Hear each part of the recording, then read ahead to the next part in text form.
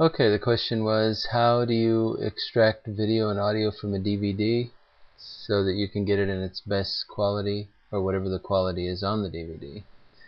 Um, the answer is I'm going to use um, a program called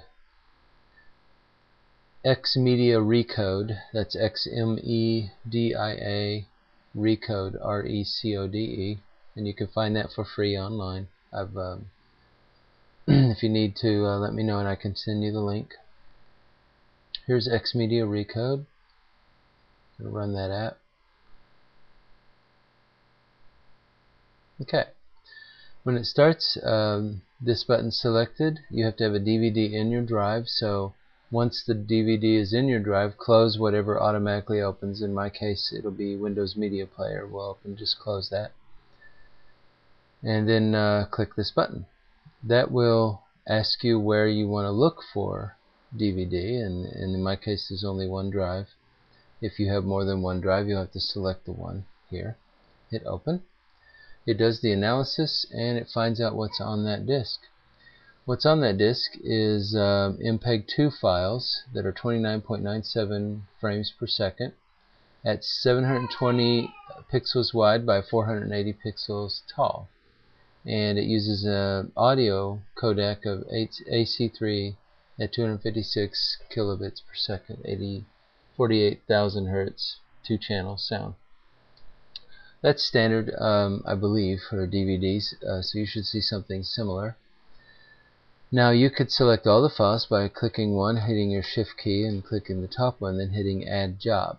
Or you could select just the one that you want if you know which chapter that is that you're trying to grab. And then just select that one or hold control down and select several. Um, I'm just wanting that one because it's short. I'm going to hit add job and then that's going to add it to my jobs folder. Now the video settings and everything were already set up so I'm going to go over that really quick. I'm going to remove that job and then I'm going to go back to the format tab now when this thing first starts it will have some format that will end up being uh, nothing like what you're trying to record because you want to match this get it as close as possible. So go to your format tab pull down your profile and then choose custom. And then change your format to MPEG 2 because that matches MPEG 2 right here on your chapter. And then uh, go down using your scroll bar here to the audio codec and we'll choose AC3 because that's what is in the file, the original file. And we'll go with that.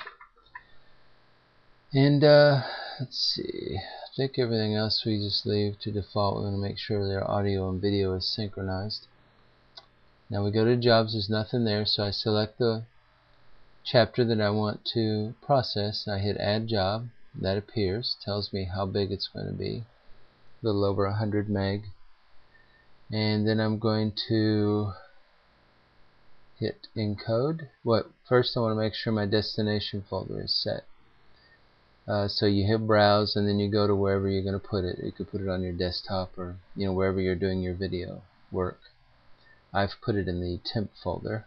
Hit OK and then hit encode now it's going to begin encoding the file to my destination folder and if we go and open that folder we could see that it is in the process of building this title 051 MPEG file which is what it's showing you right here.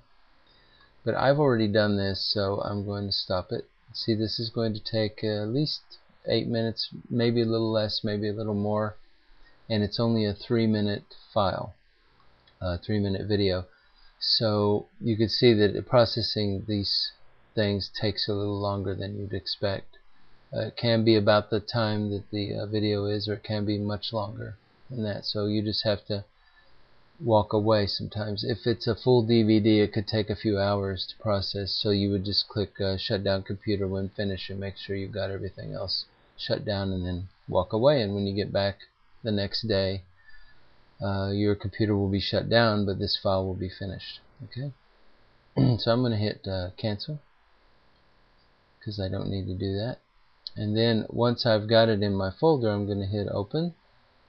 And you can see there's the one I made before. And double click it to open it in Windows Media Player. And there it is. So that's been extracted from the DVD and the quality is going to depend mostly on how it was encoded into the DVD. So um, the quality might not be too good. If I zoom in on this, see video size, go full screen on it. You could see there's degradation around the edges and everything because it's a DVD video and they have usually been compressed at some level. Okay. So that's it. That's pretty much all there is to it. To get the video and audio off of a DVD, it's really not complicated. Um, but it does require some time and a cool little application called XMedia Recode. So try that out. Later.